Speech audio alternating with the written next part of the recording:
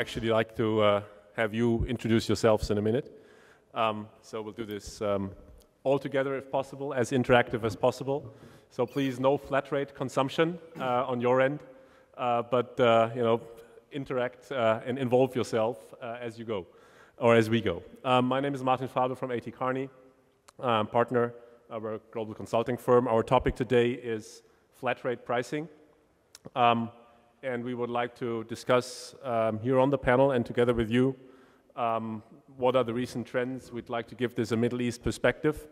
Um, uh, this is a big debate around the world. We have uh, other buzzwords uh, coming in here, like net neutrality, but I think we would like to take it a bit from the consumer front end or the customer front end, including, including business as well, uh, and probably not so much go into the regulatory discussion. Um, what we'd like to do is, um, you know, originally you've seen uh, there are more chairs. We had uh, more panelists planned, uh, but uh, no problem with that. Uh, we'd like to make it, uh, you know, as um, interesting for you as possible.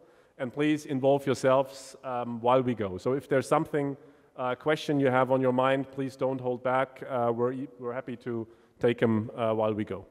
Um, flat rate pricing, maybe just two or three data points here um, in the um, mature telecoms markets, we're facing a growth, an annual growth of data volumes of around 30 to 40% in fixed networks and 80% per annum in the mobile networks. And when we're talking about flat rate pricing, um, which now has become uh, almost something evil um, in the times of uh, network congestion, especially in the mobile arena, uh, we should not forget it was, uh, it was something very good uh, in the early days of the fixed internet because on the one hand, um, it has allowed users to massively subscribe uh, to broadband. Um, without a flat rate, um, things weren't hassle-free before. People were worried about what they have to pay. So a flat rate initially was something very healthy to manage the uptake um, on the consumer end. But also, let's not forget about that, it was very healthy for the telecom operators as well, because lots of people did not use um, or did not even reach um, bandwidth levels, consumption levels that actually would mean a problem uh, from a total cost perspective. But the flat rate is actually built um, upon some science uh, by those who offer it, um, that most of those subscribing to it um, are charged more than they would be paying if you would go for a more uh, pay-as-you-go pricing model. That's the whole um, um, rationale behind a flat rate. Now, these days, with uh, mobile video streaming, with gaming on the mobile network, so with all the massive consumption of um, still only a small fraction of the subscriber base, but at peak times, certainly exceeding the capacity that's in the network, flat rates have become problematic. Probably much more in the mature telecoms markets, but we're in the Middle East. So what we would like to do to um, get engaged, start the discussion uh, with uh, Markus Golder and Klaus Müller is um, introduce yourselves a bit, share us your perspective, uh, whoever wants to start, um, and then from there we'll take it forward and discuss various elements of, you know, is it a problem that we're facing here in the Middle East today or soon? Um, what are the different pricing models um, around the flat rate or alternative to that? And what are the um, options going forward? So please, yourself. And uh, thank you for uh, inviting me to this panel. My name is uh, Markus Golder. I'm a business segment director with uh, Nawras in, in Oman, currently also looking after uh, consumer marketing. As many of you will know, uh, Nawras has launched as a second mobile operator in Oman in, in 2005, gained around 45% market share till today. Uh, we were the first to launch uh, 3G services, uh, followed by the incumbent about uh, nine months uh, later. Witnessed some uh, good high double-digit growth rates in both data, mobile data consumption, as well as customer base growth over the last couple of years, and and as a consequence, you know, bumped into into capa capacity issues from time to time in densely populated areas and dealt with those by, uh, by deploying additional uh, capacity uh, sites. Um, we did from the beginning, from the outset, we uh, stayed away from, uh, from flat rates uh, on, uh, on mobile broadband with very few exceptions. Today we don't have any, any flat rate offers uh, at all in, uh, in mobile broadband. As our CEO has pointed out earlier this morning, we're taking an increasingly segmented approach to, to marketing, so we have quite a wide portfolio of mobile broadband packages catering to the needs of different segments and uh, different uh, applications, uh, use cases of, of customers, starting from daily prepaid bundles, weekly bundles, um, up to, uh, to monthly packages with, uh, with a large quota included. For the, for the monthly packages with quota included, we give uh, customers of a, a, choice whereby they can either you know, switch to usage-based billing when they hit the, the quota, or get uh, the, the speed uh, throttled down. And before they, they, uh, they reach those, those limits, we send out a text message to, to notify them. Um, Nawras in 2009 also uh, got the second uh, fixed license in, in the country, including uh, International Gateway, launched home broadband and business services mid of last year, based on uh, WiMAX technology as well as our own fiber access rings for businesses uh, mid, mid last year. Um, when it comes to WiMAX, we basically uh, embrace the same uh, pricing uh, principles. So only on the, uh, on the top package we, we apply a flat rate. Thank you. Yeah, Klaus Middler, working for Ericsson, representing the vendor side. Um, so we have an interesting panel from the vendor and the operator side. Uh, I would have wished we have someone from Google here, uh, but um, uh, I'm responsible for the uh, uh, OSS BSS part of the um, product portfolio of, of Ericsson in the Middle East, market development and strategy. And uh, that um, is, is quite synonymous for, for my opinion when it comes to our opinion when it comes to flat rate. Because I heard already in the morning is that uh, you as a vendor, you must be very happy with flat rate because uh, consumption will skyrocket and you will sell a lot of equipment. Um, would wish it were like that because uh, it's not a sustainable model. We don't believe in it because it's not a sustainable model. And whatever Ericsson stands for is sustainability. So which means unless we together in this industry are able to make that profitable, uh, we will suffer a lot in, in, in, the long term, and especially the, the consumers, because what we forget is the ones who don't have broadband access today, who live in rural areas, who are not in the major congested areas, they want to have mobile broadband access as well. And only if we together earn enough money, then we can afford to, uh, uh, uh to roll it out everywhere.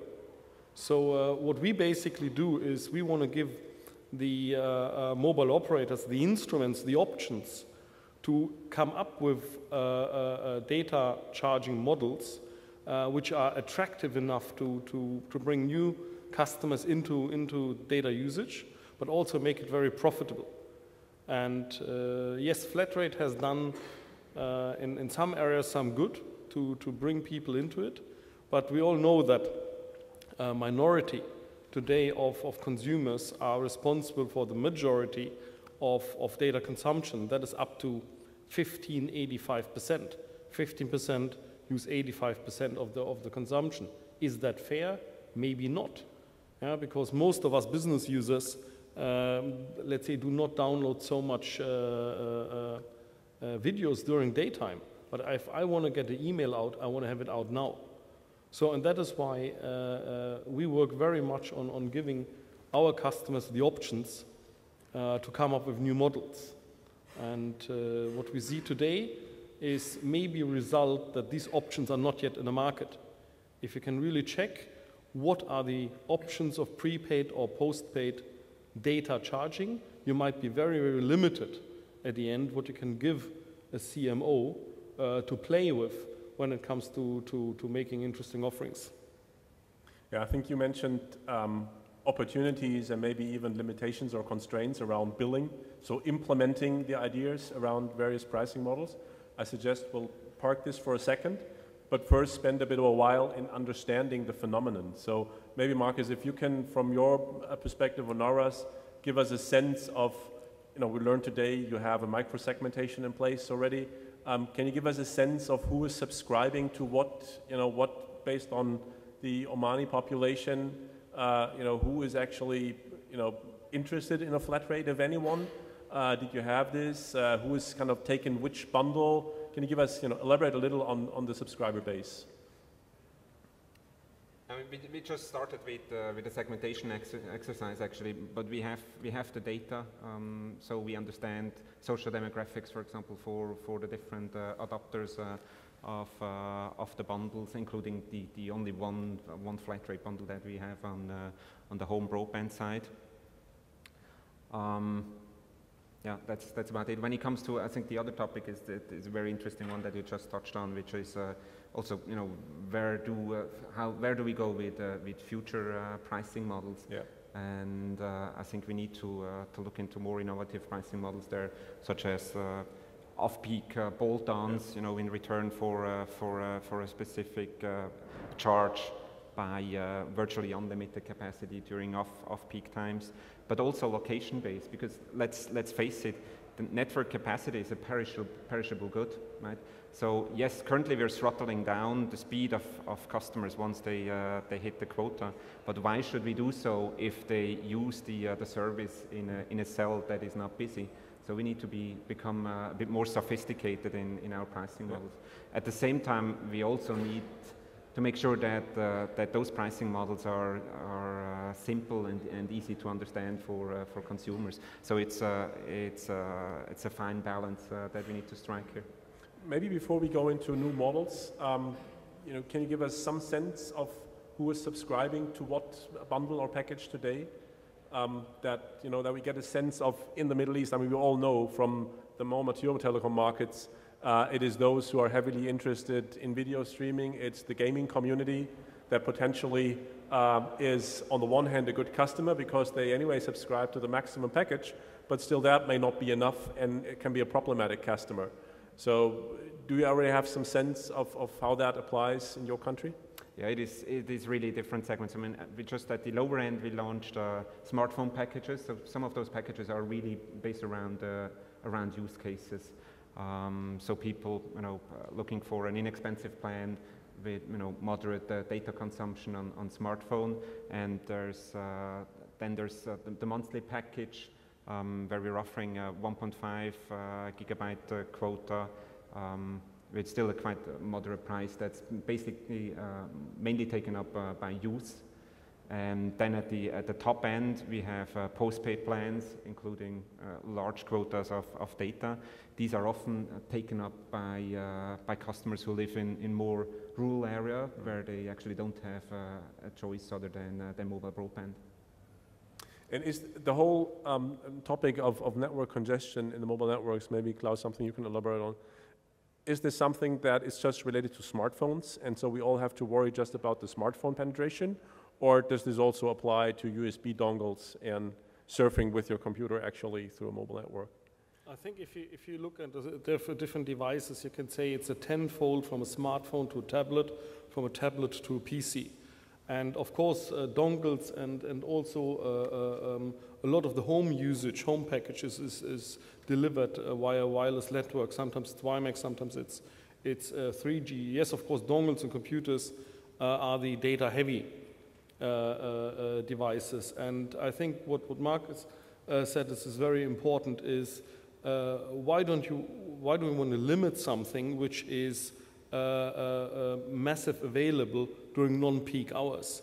And I think in this case, uh, the, the, the telecom operators face the same challenge like electricity utility companies do today. Yeah, they, they, they need to build a network for, for one or two peaks during the day. Yeah. And uh, they think, uh, think about something which is called a smart grid, by the way, with the help of a mobile network, uh, where you can get better rates, where you can get a benefit when you do not use your washing machine during peak hour. Yeah, because you can wash two hours later, and then you, you uh, to create a lesser peak. And uh, um, this technology today is available for voice. Uh, it's, uh, it's also recently now available for data, but not yet implemented. I think uh, we call that uh, dynamic charging. the MTN group, I think, has, has deployed that in 17 countries, where you're based on the time and the location where you are, get a special discount for your voice rate. Because congestions happens also in, in the voice networks, of course. And uh, I think we will see more and more of these models yeah, where you try to limit the peaks uh, and, and, and get a fair distribution about location and time. Maybe before we go into limitation, uh, let's just um, discuss a moment about um, encouraging uh, the usage in the first place, because I think we're still at a stage here where we want to have more mobile data usage. Uh, I think at the horizon, we can already worry about excess usage, but I think right now we would very much benefit from, from increasing usage. So um, almost kind of a provocative question, should we introduce as many flat rates everywhere as possible to uh, encourage people, uh, you know, buying smartphones and, and start surfing on the web, uh, which we then later on can worry about of how we, do we handle this uh, once we reach uh, the capacity constraints. What is your view? Uh, is it, how important is it to manage uptake in the first place? I think we're already beyond that point to, to play this kind of, of games. Besides, I don't want to, to play games with, with customers introducing something and, and destroying it later on. So I'd rather go out with, with uh, attractive segmented packages that uh, they provide uh, value to customers already today. so there's no no issue with, uh, with uptake of mobile broadband. We, sti we still see it growing uh, at, at a very strong, uh, strong pace. And this will continue for another two to three years before it starts to, to level off. Now mainly driven by proliferation of, of smartphones and less so dongles how difficult is it for your customers, Klaus, around the world to get rid of flat rates where they have introduced them in the first place? I think coming to your first point, I think there's still a fair amount of uh, subscribers which have not yet made their first internet experience on the phone. And there is some education needed. And I remember when, uh, uh, I mean, no secret with my accent that I'm from Germany. So, and when, when Vodafone had the first devices with a special internet button. They were really, really proud of that internet button. But very, very soon, yeah, it became the nickname of the panic button. Yeah, because when you give your phone to your friend, and the first thing you say, you start panic. Uh, don't push that button. That costs a lot of money. Yeah. So and uh, uh, uh today it has a different term. It's called bill shock. Yeah. And I can tell you, uh, uh, I get my own bill shocks. Yeah. when I when I travel abroad, and if I could just switch off mobile data roaming. Yeah, and lucky me, my operator now here in the UAE at least tells me uh, when I spent in the last five minutes a thousand dirhams on data, so I can I can switch it off. But before that, it was just skyrocketing. So the bill shock still happens today. So that is why it's very very important when we want to encourage people to to give them a secure environment. Yeah, you don't give kids a gun, yeah, which is loaded. Makes no sense. Yeah, and why do you give them a phone where they can damage the family's budget by thousands of dirhams? Not in all parts of the world, at least. Yeah. Not in all parts. Yeah. Uh, no, it's, it's, it's, there's a certain responsibility needed. So, and that is why uh, uh, uh, that is the first point. You need to you need to help the consumers to control yeah. their destiny when it comes to the to the uh, uh, to the to the budget. And here, flat rates is a very easy to implement tool to do it. And that is why getting rid of it once you're in, it's difficult, but look at the US, it's yeah. possible. Yeah. I think the flat rate, and you, you, you told me that example before, flat rates are going down. So there is no trend which is getting more and more. So the, the, the economic reasoning says that flat rate in the long run, unlimited flat rate makes more sense. Yeah. I, I fully agree. Uh, know, you are right. We need to introduce uh, more and more customers to uh, to the mobile broadband experience, but there's better ways than uh, offering them uh, them uh, a flat rate. So what we're doing is again becoming more sophisticated, analytical with with, with marketing. Um, you know, based on the, the knowledge of the the handset that that the customer is using and propensity to buy models, which we which we develop through through data mining, offering them, pushing them.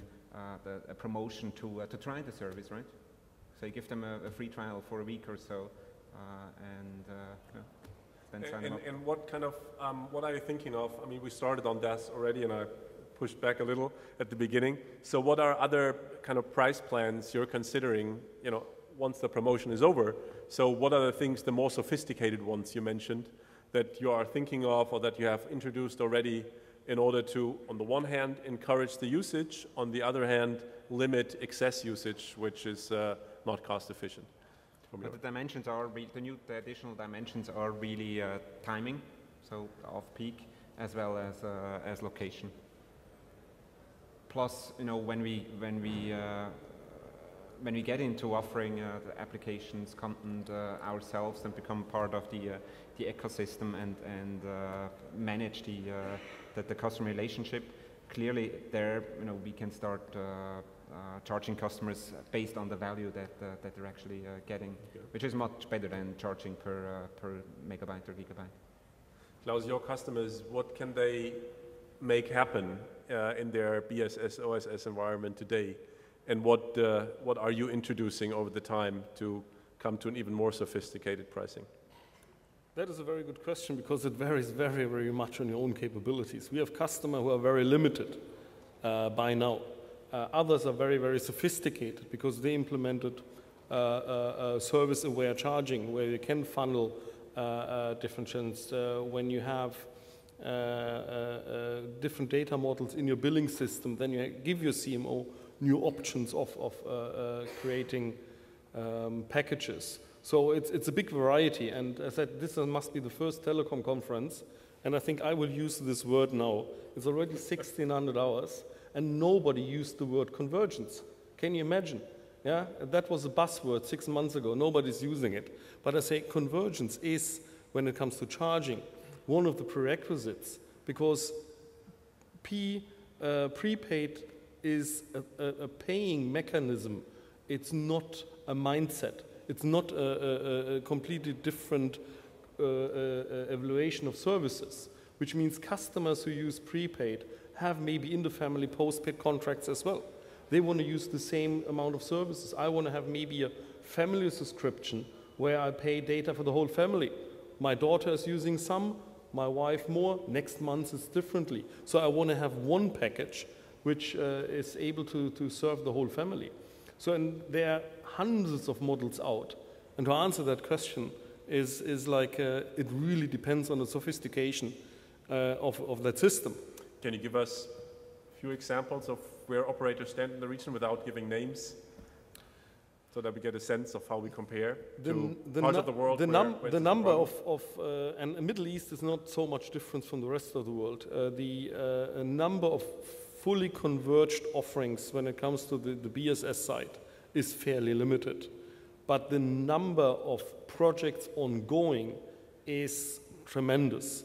And I think it's no secret to say that Ericsson has here in the region, I think, more than a third of all global convergent projects. So, and I think uh, uh, as Middle Eastern operators stand for roughly 7 to 9% of the global revenues, but having one third of all the convergence, you can imagine that this is really on top of the mind to have the ability to, to bring more than flat rate to the customer.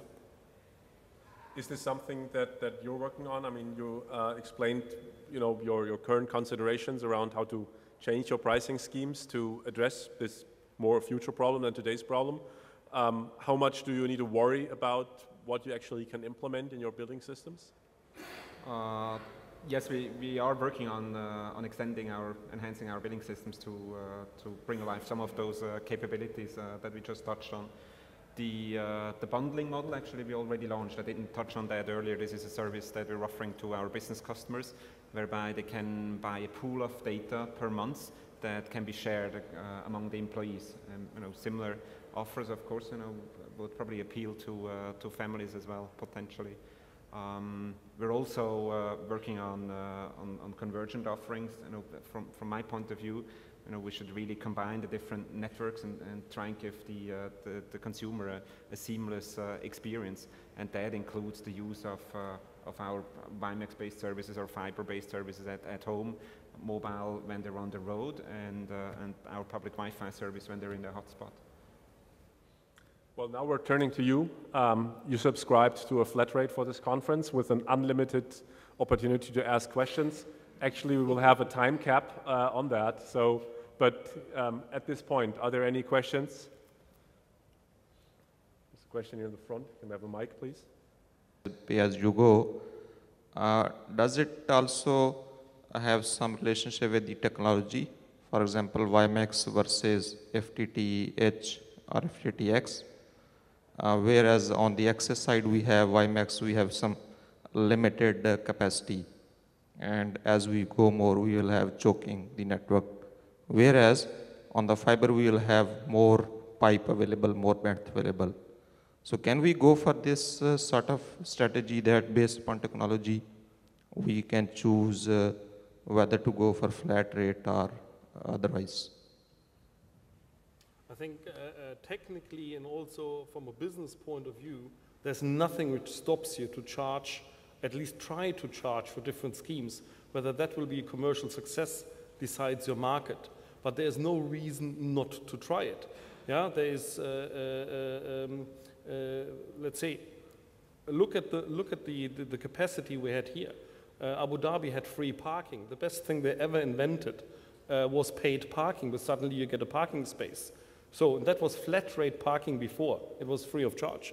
Yeah, look at Sheikh Zayed Road. Now with Salik, at least there's the amount of traffic jam is limited.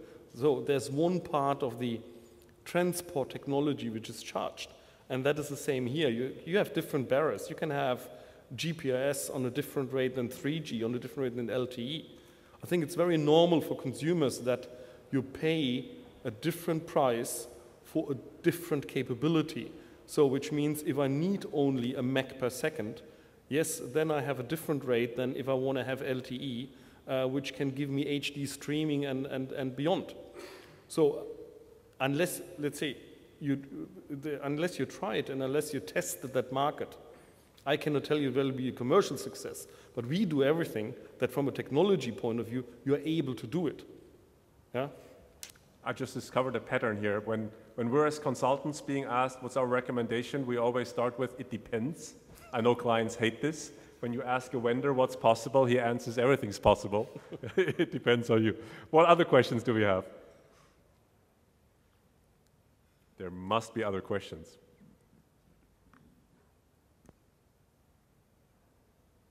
There are no other questions. Did we answer everything? There's one question. Hi, uh, Domenico Angotti from uh, Telecom Italia.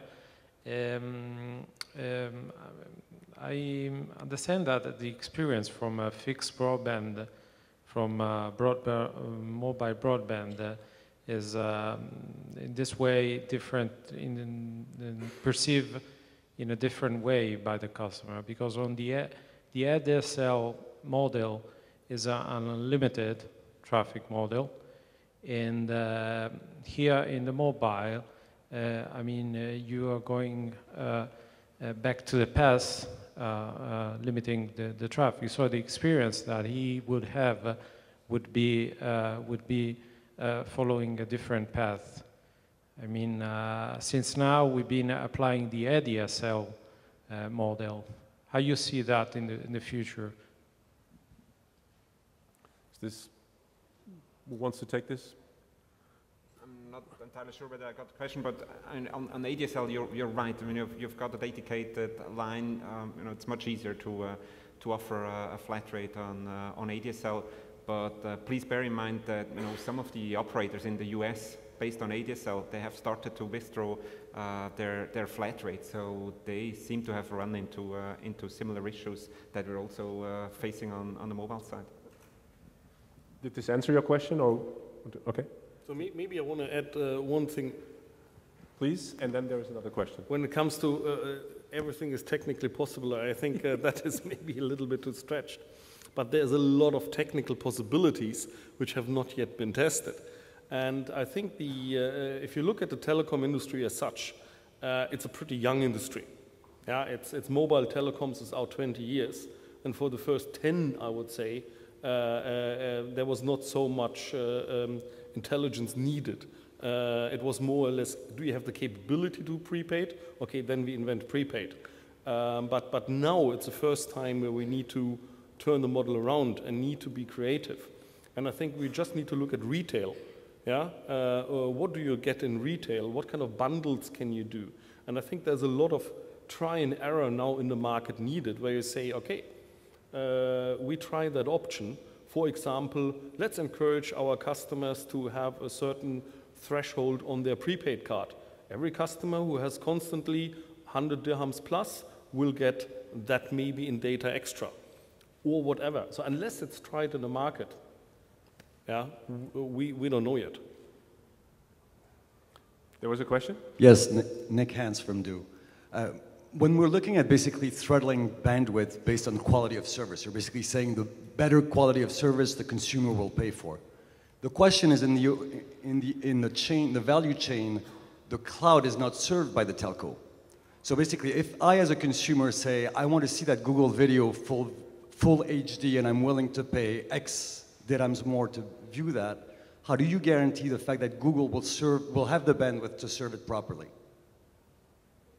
Because basically you're displacing the problem to the cloud vendor and Google is not going to guarantee that they, they basically allocate the bandwidth to that specific consumer, correct?